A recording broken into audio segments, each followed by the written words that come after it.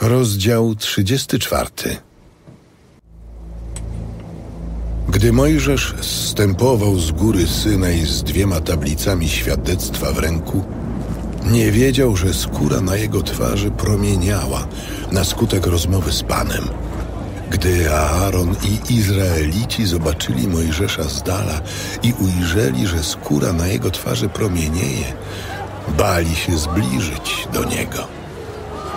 A gdy Mojżesz ich przywołał, Aaron i wszyscy przywódcy zgromadzenia przyszli do niego i Mojżesz rozmawiał z nimi. Potem przyszli także Izraelici, a on nakazał im wszystko, co Pan mu powiedział na górze Synaj. Gdy Mojżesz zakończył z nimi rozmowę, nałożył zasłonę na twarz. Ilekroć Mojżesz wchodził przed oblicze Pana na rozmowę z nim, zdejmował zasłonę aż do wyjścia. Gdy zaś wychodził, mówił Izraelitom to, co mu Pan rozkazał. I wtedy to Izraelici mogli widzieć twarz Mojżesza, że promienieje skóra na twarzy Mojżesza. A Mojżesz znów nakładał zasłonę na twarz, póki nie wszedł na rozmowę z nim. Witam serdecznie na kanale Zakochane w Biblii, gdzie wspólnie czytamy Biblię ze zrozumieniem. Mojżesz po raz drugi spędził 40 dni na szczycie góry Choreb. Po tym czasie schodzi sobie, trzymając drugi egzemplarz tablic świadectwa. Pierwszy egzemplarz został napisany Bożym palcem na kamieniu, ale Mojżesz musiał pierwsze tablice zniszczyć, aby uratować grzesznych Izraelitów. Odsyłam do naszego odcinka na ten temat. Link powyżej. Po 40 dniach spędzonych z Bogiem, Mojżesz tak bardzo nasiąkł Bożym światłem, że sam zaczął promieniować, tak że Aaron i Izraelici się go przestraszyli. Słowo Boże, słuchane i przekazywane innym, przemieniło naturę Mojżesza, uwznośliło ją i upodobniło go do Boga. Skóra twarzy Mojżesza promieniowała. Po hebrajsku czasownik karan, promieniować, znaczy również mieć rogi. Oba znaczenia wyrażają wylew potęgi i mocy, przy czym Boża moc wyraża się poprzez pokorę. Dlatego właśnie Mojżesz mógł jaśnieć tym światłem, skoro był najpokorniejszym ze wszystkich ludzi, jacy żyli na ziemi. Tłumacze biblijni musieli wybierać między oba znaczeniami słowa karan. Święty Hieronim przetłumaczył karan jako rogi, dlatego w świecie łacińskim rozpoznajemy posągi lub obrazy Mojżesza dzięki jego rogom. Czy jednak to tłumaczenie jest najbardziej odpowiednie? Poświęcimy więcej uwagi temu tematowi. Rogi mają taką zaletę, że nawiązują do byka, który jest symbolem patriarchy Józefa i nawiązaniem do jego potęgi pośrednictwa. Rogi nawiązują też do epizodu Złotego Cielca. Mojżesz sam otrzymał rogi, wcielił się w roli syna byka, czyli Józefa, a więc spełnił pragnienie Izraelitów posiadania namacalnego przewodnika w linii patriarchy Józefa. Odsyłam do naszego odcinka na ten temat. Link powyżej. Mojżesz własną osobą przesłonił niechlubną pamięć o epizodzie Złotego Cielca. Poza tym w starożytności rogi były uważane za boski atrybut. Promieniujące rogi stawiają Mojżesza w bardzo wymownej roli i wskazują na to, że Bóg przebywał w Mojżeszu.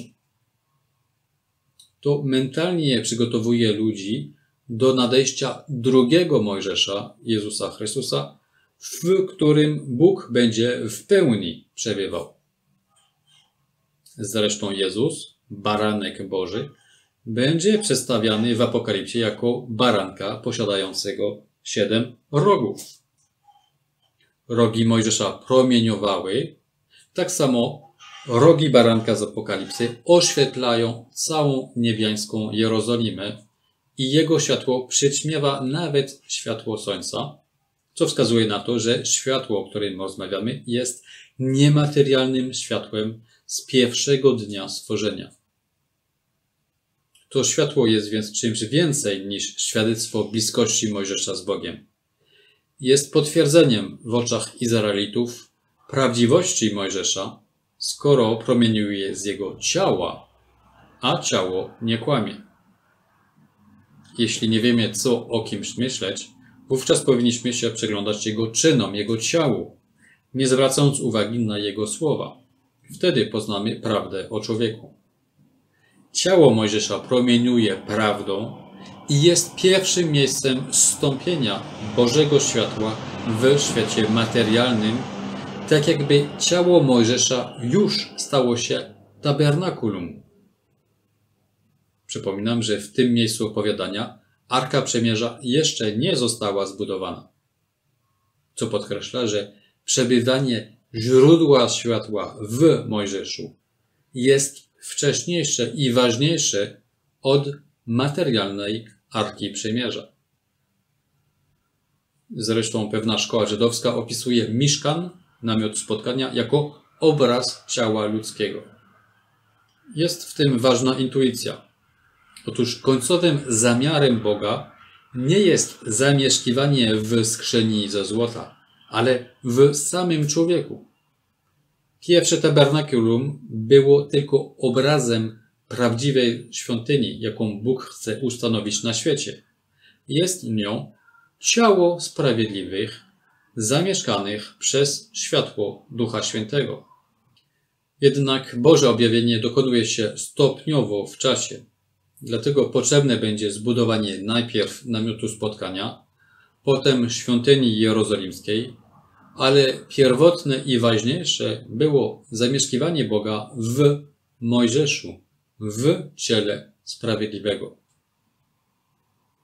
Słowa Jezusa zniszczę tę świątynię, a ja w trzy dni ją odbuduję, są zrozumiałe w świetle historii Mojżesza, w którym po raz pierwszy zamieszkało Boże światło. Zresztą przemienienie Jezusa na górze Tabor odbyło się w towarzystwie Mojżesza i Eliasza, dwóch figur związanych z górą Choreb. Co potwierdza tezę, według której góra Choreb i góra Tabor są jedną i tą samą mistyczną górą, na którą każdy jest zaproszony na spotkanie z Bogiem. Jak widzicie, dwuznaczność jednego słowa w Biblii może przenieść bardzo daleko idące konsekwencje, jeśli się jej bacznie przyglądamy. Wróćmy jeszcze do zejścia promienującego Mojżesza z góry Choreb. Ten widok wywołał strach Aarona i Izraelitów. Ten strach nie jest tylko naturalnym odruchem cofnięcia przed niezrozumiałym. Jest też znamieniem grzechu. Bóg miłosiernie szukał Adama i Ewy w ogrodzie po ich grzechu, był gotów im przebaczyć, przechodził jako przyjaciel, ale grzech zniekształcił wzrok Adama i Ewy, którzy zaczęli postrzegać Boga jako nieprzyjaciela. Grzech uniemożliwił Adamowi i Ewie postrzeganie Bożego światła miłosierdzia. Potrafili tylko dostrzec sprawiedliwą karę.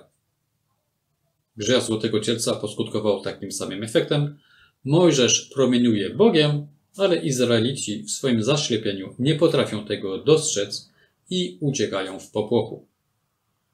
Strach jest pierwszym zgniłym owocem grzechu. Dlatego też wielu komentatorów opisuje epizod Złotego Cielca jako grzech pierworodny Izraela. Właśnie skończyliśmy nasze czytanie tego wydarzenia. W następnym odcinku otworzymy 35 rozdział i ostatnią część Księgi Wyjścia. Póki co życzę owocnego słuchania. Gdy Mojżesz zstępował z góry Synaj z dwiema tablicami świadectwa w ręku, nie wiedział, że skóra na jego twarzy promieniała na skutek rozmowy z Panem. Gdy Aaron i Izraelici zobaczyli Mojżesza z dala i ujrzeli, że skóra na jego twarzy promienieje, bali się zbliżyć do niego. A gdy Mojżesz ich przywołał, Aaron i wszyscy przywódcy zgromadzenia przyszli do niego i Mojżesz rozmawiał z nimi. Potem przyszli także Izraelici, a on nakazał im wszystko, co Pan mu powiedział na górze Synaj. Gdy Mojżesz zakończył z nimi rozmowę, nałożył zasłonę na twarz. Ilekroć Mojżesz wchodził przed oblicze Pana na rozmowę z nim, zdejmował zasłonę aż do wyjścia. Gdy zaś wychodził, mówił Izraelitom to, co mu Pan rozkazał. I wtedy to Izraelici mogli widzieć twarz Mojżesza, że promienieje skóra na twarzy Mojżesza. A Mojżesz znów nakładał zasłonę na twarz, póki nie wszedł na rozmowę z nim.